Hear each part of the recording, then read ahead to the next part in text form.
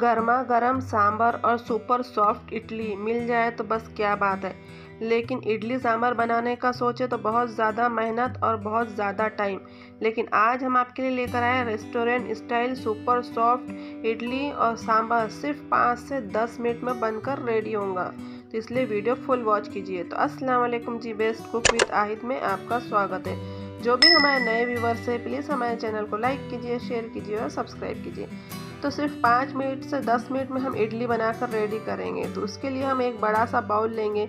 इसमें लेंगे हाफ़ के जी जो बारीक वाली सूजी होती है ना तो वो लेंगे। हम एकदम जो बारीक होती है, वही वाली इस्तेमाल करेंगे। और अगर बारीक ना हो तो जो मोटी वाली है, उसे मिक्सी में ग्राइंड कर लेंगे, वो इस्तेमाल करेंगे। इसमें स्वाद अनुसार नमक डालेंगे, वन टेबल स्पून जितनी चीनी डालेंगे, और फिर इसमें डालेंगे हम दही 200 ग्राम। जो खट्टे वाला दही होता है ना, वही वाला हम इस्तेमाल करेंगे। अगर फीके वाला दही हो तो फिर हम इसमें सिट्रिक एसिड मिक्स करेंगे।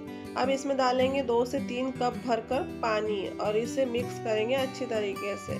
बिल्कुल इंस्टेंट बनकर रेडी होती है, बिल्कुल इसे रखना नहीं पड़ता, दाल पीसने की झंझट नहीं, कुछ भी नहीं, और एकदम सुपर सॉफ्ट बनकर रेडी होती है। जैसे प्रीमिक्स की बनती है ना वैसे तो इसे हम क्या करेंगे? थोड़ा थोड़ा पानी डालेंगे और मिक्स करेंगे। अब इस टाइम पे डालेंगे हाफ़ टी स्पून भर के सिट्रिक एसिड यानी कि जो नींबू सत होता है ना, वो डालेंगे। अगर ये ना हो तो दो से तीन लेमन का रस भी इस्तेमाल कर सकते हैं। अब इसमें फिर से हम पानी डालेंगे और इसे मिक्स करेंगे। टोटली हमें चार से पाँच कप इसमें पानी हमने इसमें इस्तेमाल किया इसे एकदम हार्ड भी नहीं मिक्स बैटर बनाना और एकदम मतलब कि लिक्विड भी नहीं बनाना, एकदम मीडियम कंसिस्टेंसी हमें इस बैटर की बनानी है। और ये जो सूजी होती है तो ज़्यादा फूलती भी नहीं क्योंकि ये एकदम ग्राइंड वाली होती है ना बारीक तो इस तरीके की कंसिस्टेंसी हमें बनाना है। अब हम इसे मिक्स करेंगे साइड में रख देंगे। बहुत ज़्यादा मिक्स करने की ज़रूरत भी नहीं अब हम क्या करेंगे, इडली स्टैंड है ना, उसे ग्रीस कर लेंगे ऑयलिंग कर लेंगे, इस तरीके से ब्रश से और फिर हम एक बाउल अलग से लेंगे तो हम एक अलग तरीका बताएँगे जिससे कि इडली का बैटर आखिरी तक के जो बैटर है वो फूली फूली इडली बने। तो एक बाउल लेंगे, उसमें तीन से चार जो बड़ा चम्मच होता है ना, वो भरकर इडली का बैटर लेंगे और उसमें हम क्या करेंगे, हाफ़ टी स्पून यानी वन पिंच जिसे कहते हैं ना तो उतना जो भजिए का सोडा होता है ना, जो बेकिंग सोडा जिसे कहते हैं, बेकिंग पाउडर नहीं, बेकिंग सोडा तो वो डालेंगे। तो हम इसी तरीके से इडली बनाते हैं हर हमेशा। तो आखिरी तक के इडली जो है तो एकदम सॉफ्ट और जालीदार बन के रेडी होती है। हम एक साथ में सोडा मिला देना तो फिर आधी इडली अच्छी सॉफ्ट बनती है और जालीदार बनती है, और आखिरी की जो इडली है, वो बिल्कुल भी जालीदार नहीं बनती। तो देखिए, इसमें इसमें कितने एयर बबल भी आ चुके हैं। अब इसी तरीके से हम इडली के साँचे में छोटी छोटी इडलियाँ बनाएँगे। तो चाहे आप बड़ी बनाओ, चाहे छोटी बनाओ, जैसी भी आपको पसंद हो आप बना सकते हैं। तो हम यहाँ पर थोड़ा थोड़ा ही डालेंगे, लेकिन ये बहुत ज़्यादा फूल कर रेडी होंगी और अच्छी बड़ी बड़ी बनकर रेडी होंगी। तो इडली स्टैंड हमने गैस पर रख दिया था, इसमें वाटर डाल के और इसमें बॉयल भी अच्छा आ चुका था। अब इसमें हम 10 से 15 मिनट रखेंगे। तो अगर गैस का फ्लेम फुल रखेंगे तो पाँच से सात मिनट में इडली रेडी हो जाएँगी। तो देखिएगा, पाँच से सात मिनट हो चुके थे और कितनी बड़ी बड़ी और जालीदार इडली बनकर रेडी हुई है। एकदम सुपर सॉफ्ट और सुपर फ्लफी बनकर रेडी हुई एक टू पीस लेंगे हम।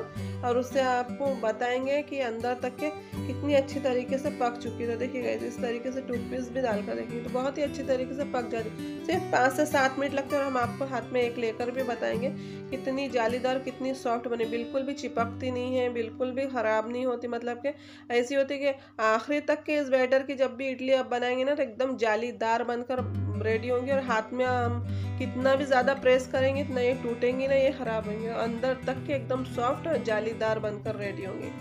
तो इसी तरीके से हम सारी जो इडलियाँ निकाल लेंगे और सारी इडलियाँ इस तरीके से बना लेंगे चाहे छोटी बनाना हो चाहे बड़ी। अब हम इसका बनाएँगे रेस्टोरेंट स्टाइल सांभर। तो उसका हम सा, पहले सांभर मसाला बनाएँगे। उसके लिए एक पैन रखेंगे वन टेबल स्पून उड़द डाल लेंगे वन टेबल स्पून चना डाल लेंगे टू टेबल स्पून भर के साबुत धनिया लेंगे वन टी स्पून भरकर जो है तो ज़ीरा लेंगे वन टीस्पून भर कर राई लेंगे ज़ीरा वन टेबल स्पून भर कर भी ले सकते हो और टी स्पून भी कम ज़्यादा आप अपने हिसाब से कर सकते हैं। हाफ़ टी स्पून मेथी दाना लेंगे और इसमें फिर वन टीस्पून जितना काली मिर्च लेंगे और कलमी लेंगे चार से पाँच लौंग लेंगे चार से पाँच जो हरी इलायची होती है ना वो लेंगे। और इसे अच्छी तरीके से जो है आ, सेक लेंगे। तो सेकने के पहले हम इसमें टू टेबल स्पून जितना है तो ड्राई कोकोनट लेंगे। इन सारी चीज़ों को अच्छी तरीके से हम रोस्ट कर लेंगे। स्लो फ्लेम पर करना है ताकि जो है सारी चीज़ें अच्छी तरीके से रोस्ट हो जाए और अच्छे, एकदम क्रंची हो जाए। तो अच्छे तरीके से हम इसे रोस्ट कर लेंगे। उसमें हम क्या करेंगे? कड़ी पत्ता डालेंगे थोड़ा सा। डालना ऑप्शनल है। अगर आपके पास में अवेलेबल हो तो डाल भी सकते, वरना स्किप भी कर सकते लेकिन इस तरीके से आप सांभर मसाला अगर बना कर रखेंगे तो ये डेढ़ से दो महीने ख़राब भी नहीं होगा और इसकी खुशबू इतनी अच्छी आएँगी। जब भी आप सांभर बनाएँगे तो इसका अलग ही टेस्ट और फ्लेवर आएँगे। तो अब इस टाइम पे हम करेंगे 10 से 15 कलियाँ लहसुन की डालेंगे जिससे हमने बिल्कुल भी छीला नहीं है और एक इंच अदरक का टुकड़ा डालेंगे। हम इंस्टेंट बना रहे हैं ना तो इसलिए और इसे क्या करेंगे? इसमें लाल मिर्च पाउडर डालेंगे। अगर आपके पास में हाँ, लाल मिर्च हो तो उसमें हम सेक भी सकते हैं यानी रोस्ट भी कर सकते हैं। ना हो तो फिर हम लाल मिर्च पाउडर अपने टेस्ट के हिसाब से कम या ज़्यादा इस्तेमाल कर सकते हैं। टू टेबल स्पून भर के इसमें हम वाटर यूज़ करेंगे। और इसे अच्छी तरीके से पीस लेंगे। एकदम फाइन पेस्ट बनाना है। बिल्कुल भी दरदरा नहीं चाहिए हमें। एकदम फाइन पेस्ट बनाना है इस तरीके से। और फिर हम इसे साइड में छोड़ देंगे। अब हम क्या करेंगे? उड़द दाल लेंगे सौ ग्राम। और इसमें अच्छे तरीके से वॉश कर लेंगे। इसमें एक गिलास, डेढ़ गिलास पानी डालेंगे इसे अच्छी तरीके से बॉईल कर लेंगे और साइड में रख देंगे। अब हम यहाँ पर सांभर बघारेंगे जब तक कि उड़द दाल अच्छी तरीके से गल जाती है। तो यहाँ पर एक बड़ा सा भगोना लेंगे। बहुत सारा सांभर इतने में बनकर रेडी होंगे। इसमें थ्री से फोर टेबल स्पून ऑयल लेंगे और फिर इसमें वन टेबल वन टीस्पून ज़ीरा लेंगे हाफ़ टी स्पून मस्टर्ड लेंगे और इसमें टू मीडियम साइज़ की कटी हुई प्याज लेंगे। तो इस तरीके से मोटी मोटी काटना है हमें। एकदम फाइन चॉप नहीं करना। जो सांभर होता है ना रेस्टोरेंट स्टाइल उसमें इसी तरीके से मोटी मोटी प्याज कटी हुई यूज़ करते हैं। इसी तरीके से टू मीडियम साइज़ के टोमेटो को काट लेंगे और उसमें डालेंगे।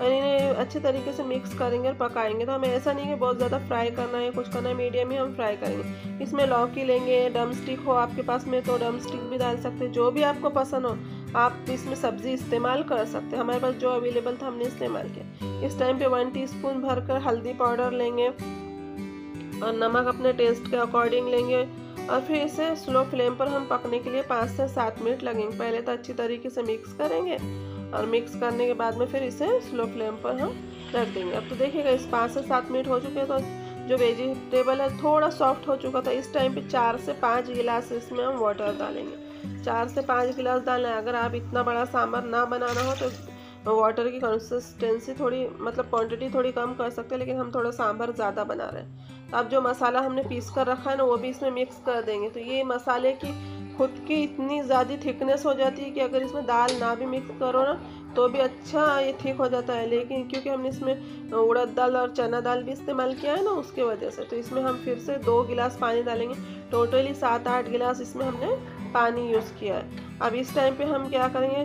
थोड़ी सी चीनी लेंगे। अगर चीनी इस्तेमाल ना करो तो गुड़ भी इस्तेमाल कर सकते हैं। थोड़ा सा रेड फ़ूड कलर डालना ऑप्शनल है।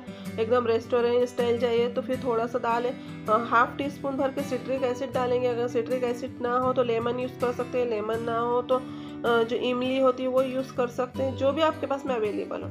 इस टाइम पे हम थोड़ा सा नमक डालेंगे। ताकि जो उसमें नमक का अच्छे तरीके से टेस्ट आ चुके थे। यहाँ पर जो है तो दाल भी अच्छी तरीके से गल चुकी है। इसे अच्छी तरीके से मैश करेंगे। बिल्कुल अच्छी तरीके से मैश करना है। और जो हमने सांभर बना कर रखा है ना तो उसमें ये दाल मिक्स कर देना है।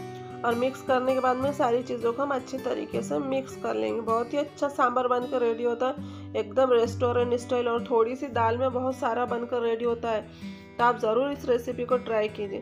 तो अच्छे तरीके से अब हम मिक्स करेंगे। बस इसमें आखिरी तक हमें चीनी, यानी खट्टा मीठा तीखा चेक करते रहना है, क्योंकि बहुत ज़्यादा क्वांटिटी में है ना, थोड़ा कम ज़्यादा हो सकता। इस टाइम पे खूब सारा धनिया डालेंगे और इसे पकने के लिए रखेंगे हम। थोड़ा थोड़ा टाइम ज़्यादा लगता है, क्योंकि इसमें लौकी है ना तो गलने के लिए टाइम लगता है, और इसकी क्वांटिटी ज़्यादा है तो बनने के लिए भी थोड़ा टाइम लगता है। अब जब तक ये दाल पकती है, तब तक हम दाल के लिए तड़का लगाएँगे, यानी सांभर के लिए तड़का लगाएँगे। फिर पैन रखेंगे वन से टू टेबल स्पून ऑयल डालेंगे, इसमें कड़ी पत्ता डालेंगे। कड़ी पत्ते से एक बहुत ही अच्छा स्वाद आता है। इसमें हाफ़ टी स्पून से वन टी स्पून ज़ीरा डालेंगे। अगर राई, मस्टर्ड डालना हो तो मस्टर्ड डाल सकते और अच्छा चटकने देंगे, और जो हमने दाल पकने के लिए रखी है ना, यानी सांभर तो उसमें डाल देंगे इस तरीके से। तो देखिएगा, इस सांभर में भी अच्छे तरीके से बॉईल आ चुका है। और लगभग ये रेडी है सांभर। तो अब हम इसे, इसकी जो लौकी है, वो भी अच्छी तरीके से गल चुकी है और बहुत ही ज़बरदस्त और बहुत ही टेस्टी सा सांभर बनकर रेडी हुआ है। इस तरीके से ज़रूर ट्राई कीजिएँगे जब तक सब्ज़ी अच्छी तरीके से पक ना जाए, जब तक हमें इसे स्लो फ्लेम पर पकने के लिए छोड़ देना तो हम इसी तरीके से पका लेंगे। तो ये थिक भी बहुत ज़्यादा हो जाता है और जो इसके अंदर के वेजिस है, वो भी पक जाते हैं और मसाले भी बहुत ही अच्छे तरीके से पक जाते हैं। तो अब हम क्या करेंगे इसे इसी तरीके से छोड़ देंगे। आप सर्विंग डिश लेंगे, उसमें सर्व करेंगे। तो हमने यहाँ गर्मा गर्म इडली और सांभर रेडी है। तो अब हम आपको और एक बार इडली को तोड़कर बताएँगे, कितनी सॉफ्ट और कितनी फ्लफी बनकर रेडी हुई है। बिल्कुल भी हम कितना भी प्रेस करो तो ना ये टूटेंगी ना ख़राब होंगी। और इसे दो दिन भी अगर आप इसी तरीके से स्टोर करेंगे ना तो इस, तरीके से एकदम सॉफ्ट और एकदम स्पॉन्जी बनी हुई रहेंगी। तो बन गई ना सिर्फ़ 10 से 15 मिनट में इडली बनकर रेडी बहुत ही ज़्यादा अच्छी रेसिपी है ज़रूर इस रेसिपी को ट्राई कीजिएगा और हमें फीडबैक ज़रूर दीजिएगा। तो अगर आपको रेसिपी पसंद है तो प्लीज़ लाइक करना शेयर करना सब्सक्राइब करना। साइड में जो बेल बटन आता है उस कॉल पर क्लिक कर देना ताकि आने वाले हर वीडियो का नोटिफिकेशन आपको मिलता रहे। वीडियो वॉच करने के लिए शुक्रिया तो चलिए फिर हम अपने नेक्स्ट रेसिपी मिलते हैं। तब तक लिए अल्लाह